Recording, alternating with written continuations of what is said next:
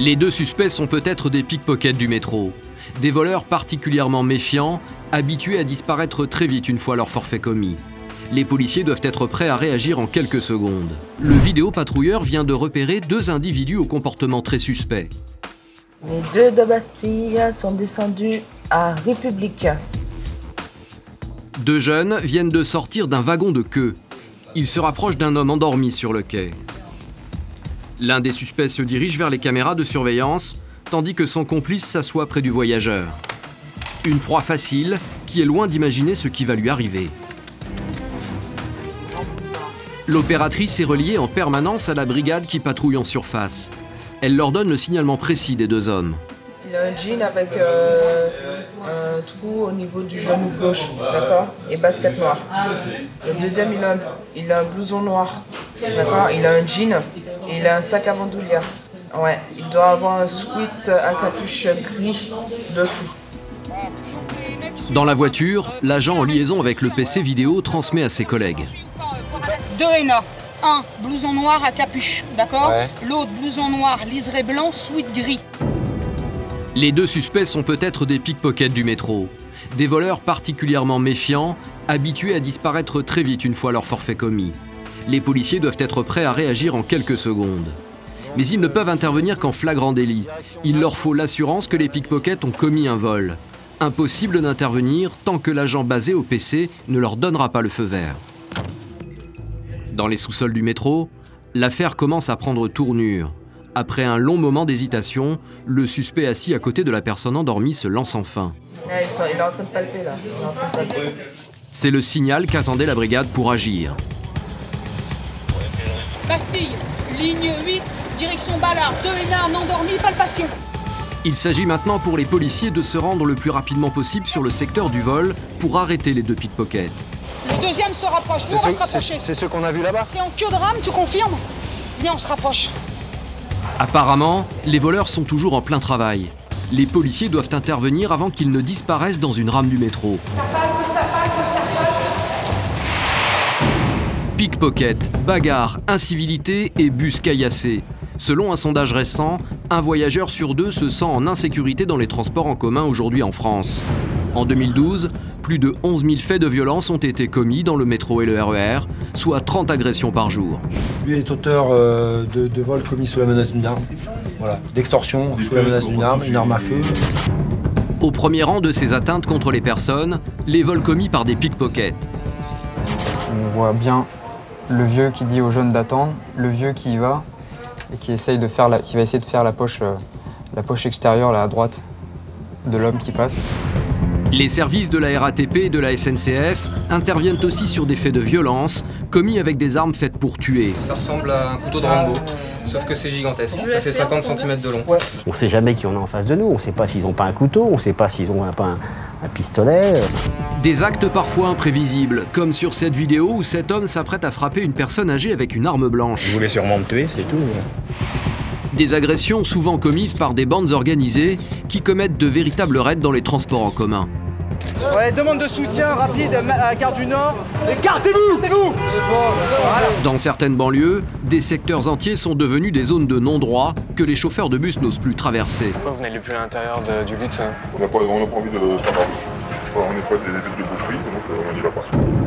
Pour mettre un frein à cette délinquance, les services de police sont organisés en équipes spécialisées. Ça envoie des, plusieurs plots en, en caoutchouc. En général, ça dissuade, ça fait, ça fait mal. Châtelet, là, A, arme de poing Pour ces agents mobilisés 24 heures sur 24, les caméras de surveillance du métro sont devenues de véritables GPS. Si l'individu descend à plusieurs stations, reprend différentes rames, effectivement, il peut passer sous une trentaine de caméras, je vais dire. Mais un autre fléau frappe aujourd'hui les transports en commun. 400 millions d'euros, c'est ce que coûte chaque année la fraude à la SNCF et la RATP. Le nombre de voyageurs sans ticket augmente, certains usagers n'hésitent même plus à assumer leurs pratiques frauduleuses au grand jour. Ça vous arrive de prendre le métro sans payer Tout à fait, ça m'est arrivé quelques fois. ouais. Certains utilisent de nouvelles applications smartphone pour échapper au contrôle. Les gens s'abonnent à mon compte, ils m'envoient une information comme quoi ils ont vu des contrôleurs, et moi euh, je la répète euh, à, à tout- tous les- toutes les personnes qui sont abonnées à moi, donc du coup ils peuvent avoir l'information euh, en temps réel. D'autres n'hésitent pas à aller beaucoup plus loin en créant de véritables mutuelles clandestines destinées à rembourser les amendes. Je vais te trouver un pseudo, une adresse mail un petit peu plus confidentielle. Pourquoi? Je peux pas dire. Enfin, franchement, tu es. euh, Enquête sur la délinquance dans les transports en commun. La brigade des réseaux ferrés est sur le point d'interpeller deux pickpockets dans le métro parisien. Pour les policiers, il faut agir vite. Les deux premiers qu'on palpé deux fois sur Grand Boulevard, ils sont revenus, ils sont à République, ils sont revenus sur cette heure. Chaque seconde compte et peut être déterminante dans l'interpellation, car ces malfaiteurs ont l'habitude de rapidement disparaître une fois leur vol commis. Mais à la station Bastille, les voleurs ont déjà disparu. Sur le quai désert, il ne reste que la victime, toujours assise au même endroit. Ils ont rien volé, bonjour monsieur. Ils ont voulu Ouais. D'accord. Sortirez comme ça, D'accord. merci. Ok, donc on est avec le monsieur, ils ont essayé presque, mais ils n'ont pas réussi, le monsieur s'en est aperçu. D'accord Je te laisse sur eux Ok, ça marche, on remonte. Merci monsieur, bonne journée à vous. Entre-temps, l'agent du PC vidéo vient de repérer un nouveau suspect, à la station Monceau cette fois-ci. Lui, il tourne à côté. Sur le quai presque désert, un pickpocket vient de repérer une proie potentielle. Un passager endormi qui ne voit rien de ce qui se passe autour de lui. J'ai un Nord-Africain qui bosse là sur mon dorme. Là, il palpe. Oh, p- ouais, on voit bien qu'il lui a sorti son portefeuille. Immédiatement, l'alerte est donnée. Il ne faut pas perdre un instant. L'inconnu est déjà debout et s'apprête à disparaître dans une rame. Pour les policiers en surface, il va falloir cette fois effectuer une filature guidée par téléphone. Grâce aux caméras, la fonctionnaire du PC vidéo va servir de GPS à ses collègues. Elle vient de leur donner un signalement précis du pickpocket. Nord-africain. Donc pantalon beige, blouson de quelle couleur Kaki, c'est ça que tu m'as dit? Ok, kaki foncé, pantalon beige. L'inconnu a pris la direction de la station Nation. Les policiers doivent absolument arriver sur le quai avant qu'il ne descende de la rame pour pouvoir l'interpeller. Ligne 2, direction Nation, le mec il a pris. D'accord Il a pris la rame. Donc la station d'après c'est quoi? La- C'est quoi? Villiers, la station d'après c'est Villiers. Donc essaye d'anticiper sur une ou deux stations, on va le péter. Le chef de patrouille décide de mettre directement le cap vers la station Place de Clichy afin de prendre un maximum d'avance. Faut- eh, les mecs, faut le choper avant Saint-Lazare, fonce. Parce que Saint-Lazare, c'est une toile d'araignée. hein. Tu peux pas faire arrêter la rame, non? C'est pas possible, c'est pas dans ta possibilité D'accord, ok. Réponse négative de l'agent du PC vidéo. Impossible de demander au conducteur de stopper la rame en pleine voie pour laisser le temps aux policiers d'arriver.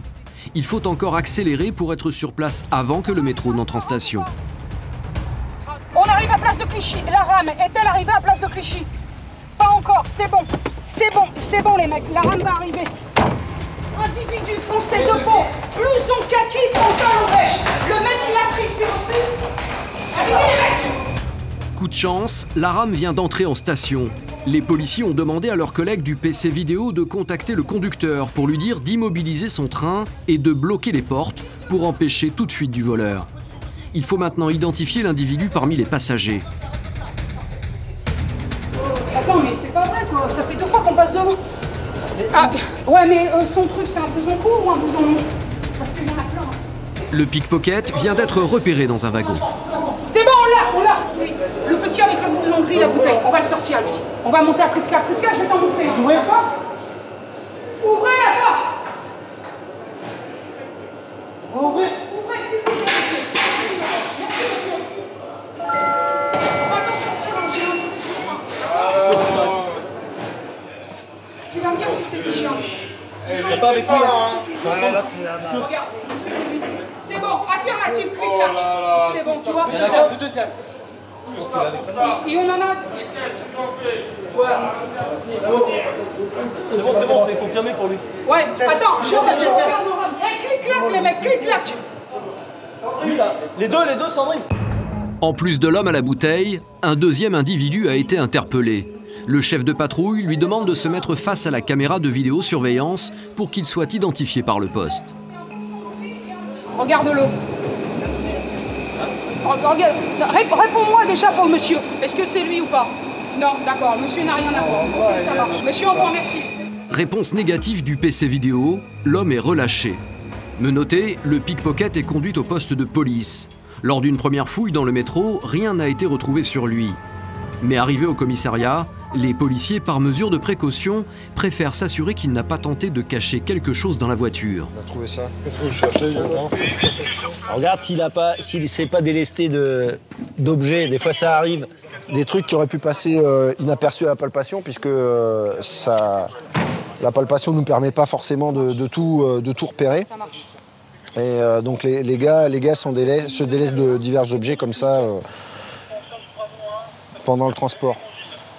Vas-y, euh, Donc il arrive, il arrive fréquemment de trouver euh, ou de l'argent ou des, des choses comme ça assez fines qu'on sent pas forcément la palpation. Quoi.